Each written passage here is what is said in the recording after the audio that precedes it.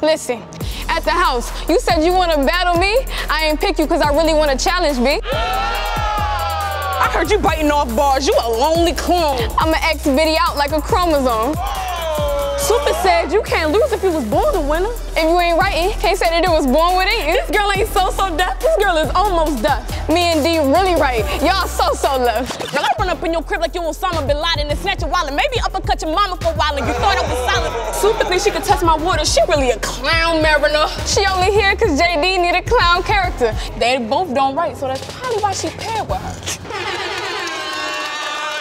Rapunzel, Rapunzel.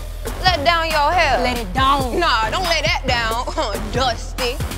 so, in the story, Rapunzel's hair magically grew back. It grew back, sure. I mean, the same thing happened to you, but you magically grew track. you fix it. Yeah.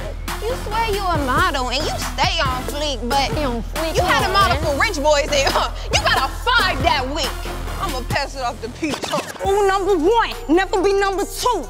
A whole nother season, then they came up with you. Boo-hoo, you're funny. Only thing popping is that tummy.